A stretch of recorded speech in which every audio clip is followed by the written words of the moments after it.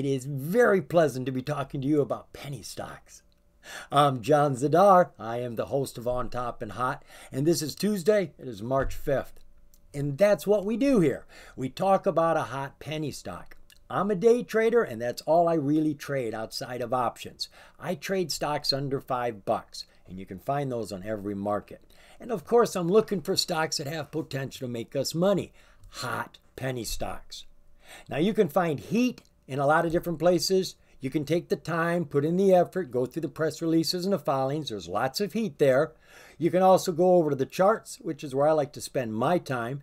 You can see a lot of charts in a little amount of time, and pretty much at a glance, you can tell if there's heat in a chart. You can see volume coming in. You can see the price turning, doing a breakout. You can see it going to the moon. Well, if you can match the two together, a hot piece of news and a hot chart, Ha ha ha! You've got yourself a hot penny stock.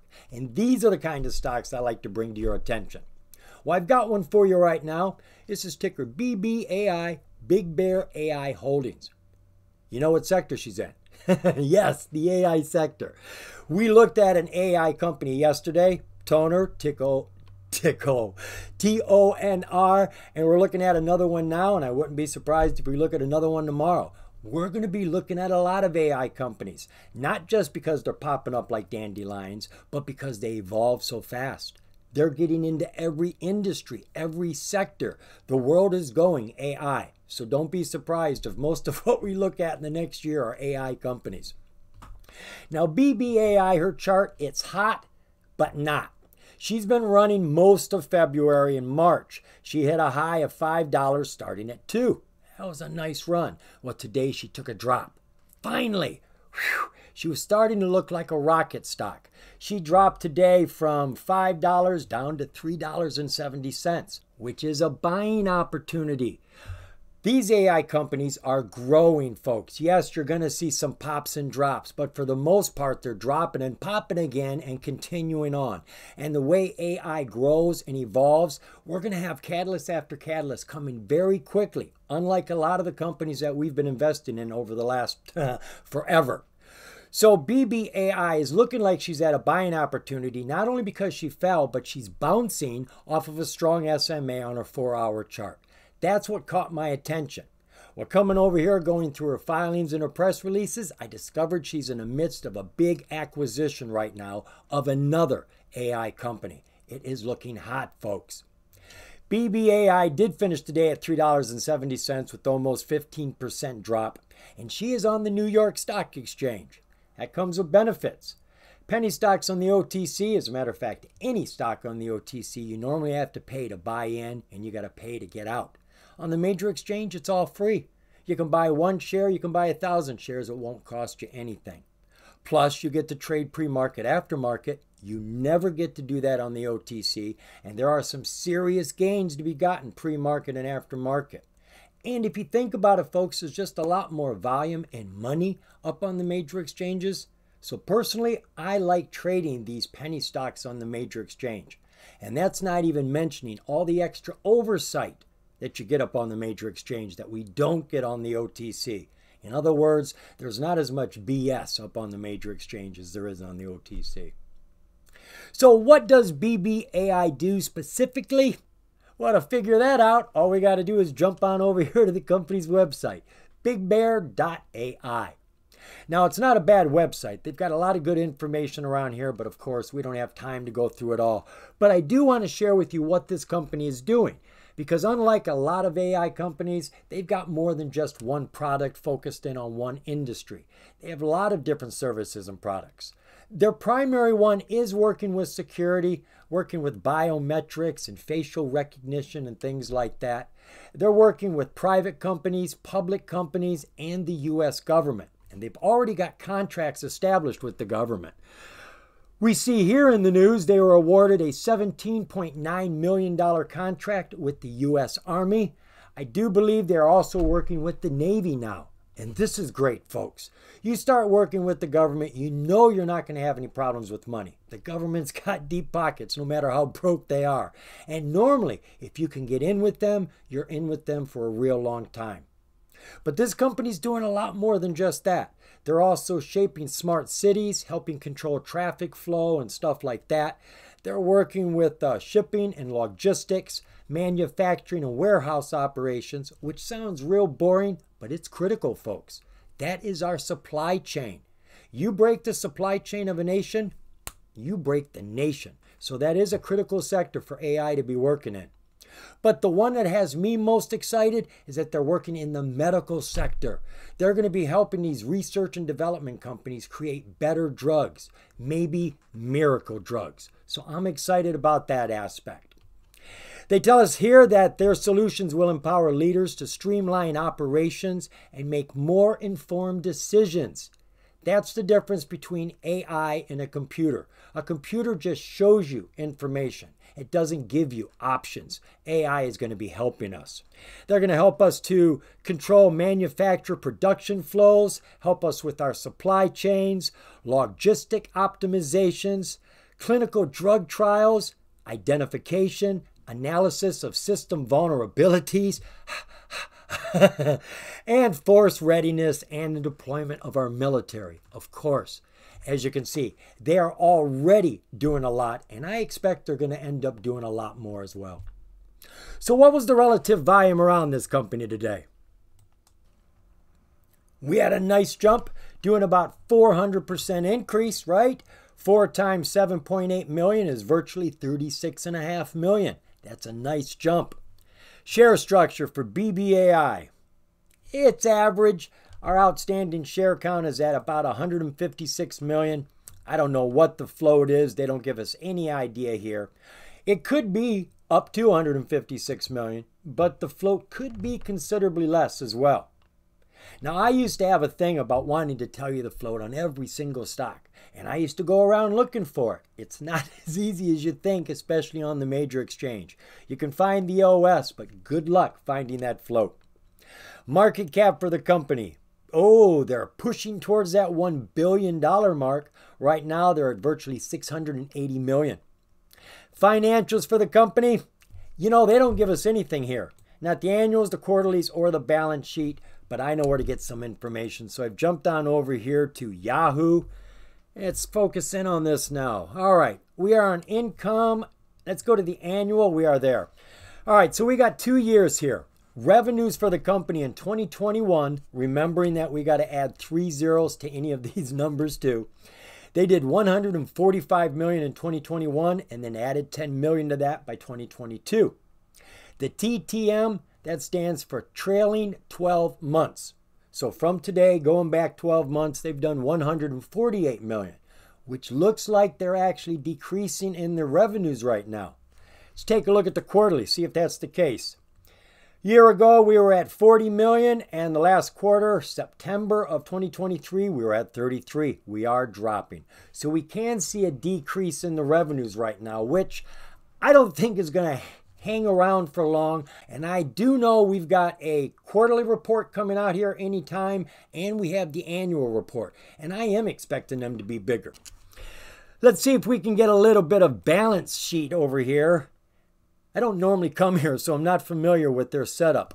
Total assets at the end of 12 2022, that's over a year ago, we were at 195 million. Total liabilities were 233 million, so we are looking at about 38 million stockholder deficit at this point in the game. Disclosures for BBAI. All right, we do have some important disclosures over here. Three of them I specifically want to point out to you the Form 4, the 13D, and the 8K. The Form 4, this is filed whenever insiders acquire or dispose of the company's stock. And we're primarily interested when they buy them or sell them because they can get them and lose them in a lot of different ways. Well, this is not a purchase or a sale, and it is a big number. BBAI Ultimate Holdings acquires 61 million shares at $1.34. Folks, you'd be talking about 75, 80 million dollars worth of investment. But wait, we got the wrong code here. We need a P if they were purchasing them.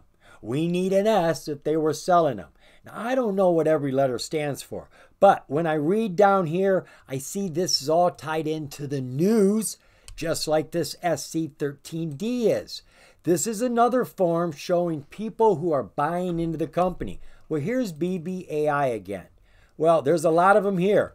Let me scroll down to another one. Dun, dun, dun, dun, dun. There, Arrow Equity. There's another one. And look at the numbers here 75% interest in the company. 75% interest. What this is all about, folks, is there is an acquisition going on. Basically, a merger, if you will, two companies coming together, and there is a share exchange. A lot of shares are being exchanged. So that's what that is all about. Then we've got an 8K here. Turns out you've got a big investor that had a lot of warrants that he bought a while ago, about uh, 14 million of them, and he's cashing them in. Now, what that does is put a lot of money in his pocket because a warrant guarantees you the right to buy a share of the stock at a big discount sometime in the future. So he bought these warrants a while ago and now he's cashing them in. Well, when you convert a warrant and cash it in, it gives birth to a new share of stock. So we have about 14 million new shares on the market now. That just increased our float, decreased our shareholder value which is deficit right now of about 38 million. But he did turn around and he gave it back to the company, all that money, and he bought more warrants. Not that that's helping me or you, but it is money back in the company's hands. Every time they sell warrants or cash in warrants, they make money. So they made a lot of money on that deal. So the company's got cash in their hands right now. All right, let's go take a look at that news now. I just opened up a lot of windows here. I got to find it.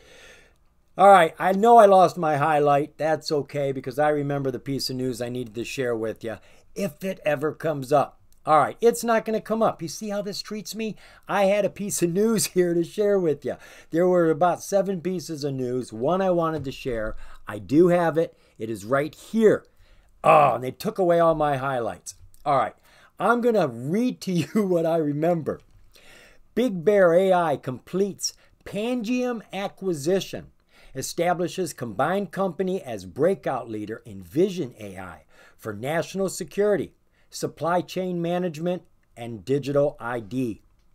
Today, Big Bear AI, a leading provider of AI powered decision intelligence solutions, announced the completion of its acquisition of Pangiam Intermediate Holdings, a leader in vision AI for the global trade, travel, and digital identity industries.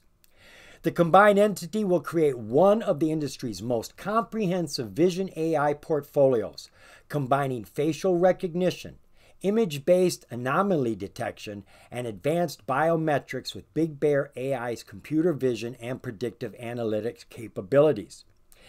Kevin McAleenan is going to become the new president of the company. This is the man that's taken over as president for BBAI. He is currently the chief executive officer for Pangiam. This is Kevin McAleenan, and he comes with some good experience. He recently was serving as the acting secretary for the U.S. Department of Homeland Security. Well, if you're going to be working with two companies that both have contracts with the government, this is the man you want in office. Now, looking at their website, again, they've got a lot of good information over here, but we don't have time to go through it all. But I want you to focus in on what it is that they do. They do a lot of different things with their AI, but they primarily are working with security as well, with biometrics and facial recognition. So there are things that both of these companies, BBAI and Pangiam, do separately and things they do the same. So they've got synergies. They're going to be able to increase their strengths, which means they're also going to be able to reduce their expenses. This is really looking good to me, folks. We got two strong AI companies here merging, both of them working with the government, both which can do a lot of different things, and they are both growing very quickly. And the chart, it's at a spot now that we need to consider entry. You ready to do some charting? I hope so. Charting is my favorite part of due diligence. So we are over here at Thinkorswim, my free trading platform, and we're going to take a look at Big Bear AI, ticker BBAI. So on our six-month, four-hour chart, we got a low of $1.16 in November, and it looks like yesterday, after market, we hit a high of five bucks. Now, as you can see, she was in a downtrend underneath that 200 for a long time until she hit this low bubble. Then everything changed. Her trend changed. She bounced off of that low bubble, put herself on top of the 200 now. And for the most part, she's been on top of the 200 all this time. Now, she did dip a little bit right here underneath it, but she came right back down to this strong support, laid on it, bounced off it, put herself back on the 200. She had a nice bounce off the 200 here February 26th, and she ran from $1.94 up to 5 bucks. Our volume has been growing this entire time. All of our SMAs have turned up and are starting to climb, except for today. She did climb on that nine day SMA all the way up to that high bubble, and today she fell and fell and fell. She came all the way down to the 20 day SMA, which she's been ignoring all of this time. She came through it, bounced back up and actually finished the day right on top of the 20 day SMA. And after market period, it looks like she's starting to climb again. Oscillators are very pathetic. it was a day of falling, so all of our oscillators are in a depression right now. Looking at our 20 day one hour view, where you can see where the climb started right off of that low bubble of $1.57 when she was underneath all of the SMAs, but on top of that strong support. She came up on top of the 200 and she started her climb, bouncing. And she got up to that high and fell down through her 50, and it looks like she is right on top of that 50 right now. This is looking nice. That's a better picture. Oscillators look like we have some sort of recovery going on right now. Everything is starting to level out. It hasn't started turning up yet, but it's all leveled out. It stopped falling. That's the first thing you got to do if you want to climb is stop falling. Looking at our five day, five minute. Little roly poly chart here. We're down here at $2.40. She was on top of the 200. She dipped underneath it, got on top of it, hit that high. She's dipped underneath it, and right now looks like she's starting to come back up. You can see the price went up underneath all of the SMAs, came back on top of all the SMAs, and all of them are starting to turn right now. Our oscillators, whoo, what a mess. Let, let me zoom in on that. All right, so we do have our ADX going down. This is my trend continuation. When I see a pattern between my PPO, when it's going up, the blue line, and my ADX red line are going down, guaranteed 100% your stock is climbing in price. Now, it just started, but it tells me that is the direction it is working on right now. We can see our MACD is just about ready to do a crossover and start climbing, and our RSI has already started climbing. This is a big deal, folks. BBAI is merging with Pangiam. Both of them are working with security with the U.S. government. This is going to be hot not just with the government, but with all people. Everybody wants security. And with AI and quantum computing, privacy is going to be a hard thing to keep right now. So, security is going to be a major issue, but they do so much more than that. And now that the two companies are coming together, they're going to be a powerhouse. It is time to watch this company, folks. BBAI, it definitely deserves some more research. Look into Pangiam as well. They're going to be one company. Remember, folks, the more you know, the more you're going to grow. See ya.